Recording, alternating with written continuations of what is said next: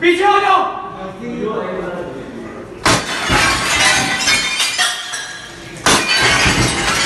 عوض باللہ من الشیطان الرجیم، بسم اللہ الرحمن الرحیم۔ جس طرح کا فرسودہ عدالتی نظام ہمارا ہے اور رشوت کے بغیر کوئی کام نہیں ہوتا یعنی جس، جن عدالتوں نے انصاف دینا ہوتا ہے، وہاں پر سب سے پہلا کام ہی رشوت ہوتی ہے۔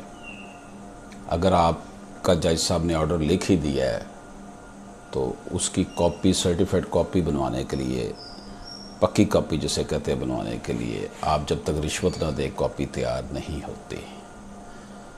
ایوان عدل لاہور میں یا دوسری عدالتوں میں جہاں بھی کاپی بنوانی ہوتی ہے، نچلی عدالتوں میں بھی، وہاں پہ بھی یہ ہے کہ آپ نے فارم جمع کروایا ہے فل کر کے تو آپ بھول جائیں۔ ایک تو وہ دس دن کی تاریخ دے دیں گے، اس کے بعد بھی بھول جائیں کہ وہ آپ کو دیں گے۔ جب تک کہ آپ جائیں گے نہیں، علمت کے پاس اس کو جا کر پیسے نہیں دیں گے، وہ فائل تب نیچے بھیجے گا اور کاپی تب ہوگی۔ یعنی یہ رشوت کا بازار ہمارے عدلیہ کے بالکل ناک کے نیچے ہو رہا ہے۔ تو کیا وہ ججز جو سول جج ہیں ایڈیشنل سیشن جج ہیں یا ہائی کورٹ کے جج ہیں جو اس پروسیس سے گزر کر گئے، انہیں نہیں پتہ کہ اتنا بڑا مسئلہ ہے۔ بعض سائلین جو ہوتے ہیں وہ خود کاپی بنوانا چاہتے ہیں تاکہ ان کے پاس اتنے پیسے نہیں ہوتے کہ وہ کسی ٹاؤٹ کو دیں، کسی منشی کو دیں یا کسی وکیل صاحب کو کہیں۔ تو ان کو تو پھر بڑی مشکلات کا سامنا کرنا پڑتا ہے۔ میں خود ایک میرا کیس تھا، اس کی کاپی کے لیے میں نے اپلائی کیا۔ ایل ڈی اے کمپلیکس کی چھٹی منزل پہ ایک تین دفعہ گیا اس عدالت کے کلرک جسے علمت کہتے ہیں کہ یار فائل نیچے بھیج دو۔ چونکہ پیسے نہیں دیے تھے تو وہ اس کے بغیر نہیں کر رہا تھا۔ پھر اسے پیسے دیے تو اس نے بنا کر دی یعنی چھ ماہ گزر جائے۔ میرے پاس ایک ہے۔ میں نے ٹیسٹ کیس کے لیے ایک رسید جمع کروائی تھی کو میں سال ہو گیا وہ سے۔ سال سے بھی زیادہ ہو گیا۔ میں چار پانچ دفعہ جا کر کہہ چکا ہوں، علمت کو کہ یار یہ فائل نیچے بھیجو، یہ اپلیکیشن۔ یعنی وہ جو رسید ہے وہ بھی کٹ پھٹ گئی ہے، لیکن اس نے نہیں بھیجی۔ یہ المیہ ہے ہمارے سسٹم کا۔ اس سسٹم کا ذمہ دار کون ہوگا؟ وہ ہوں گے جو جو ہے وہ اواری ہوٹل میں، پل کانٹیننٹل ہوٹل میں، شیریٹن میں، سرینا میں، بڑے بڑے ہوٹلوں میں تقریریں کرتے ہیں کہ جناب عدالتی نظام کو درست ہونا چاہیے اور اس کے بعد بھول جاتے ہیں۔ وکیل صاحب، جن کا آج کل چرچا ہے جو قید پریزن میں چلے گئے ہیں، انہوں نے بیچارے ہائی کورٹ میں بار بار جا رہے تھے، لیکن ان کو نہیں دے دی جا رہی تھی۔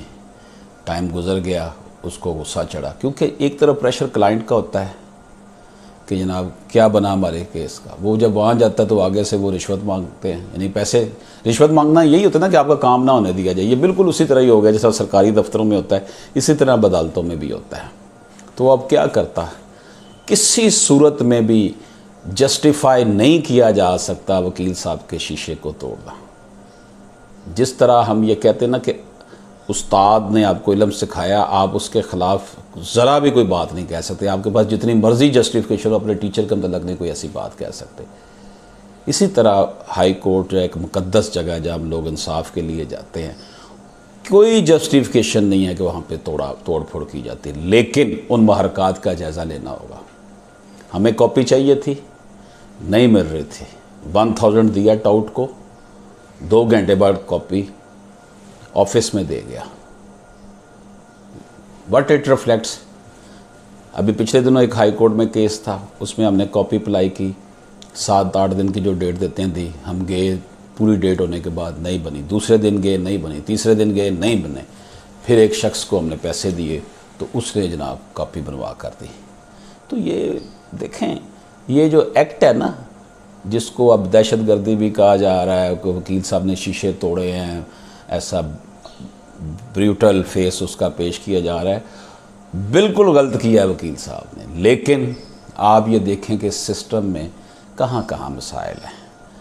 اللہ تعالیٰ ہماری حکمران اشرافیہ کو، ہماری جو یہ جوڈیشری ہے، ہماری بیوروکریسی ہے، ہمارے سیاستدان ہیں ان کو ہدایت فرمائے اور ہمارے وکلا بھائیوں کو بھی اللہ تعالیٰ ہدایت دے کہ ہم ان پیرامیٹرز میں رہ کر کام کریں جو ہمیں کرنے چاہیے۔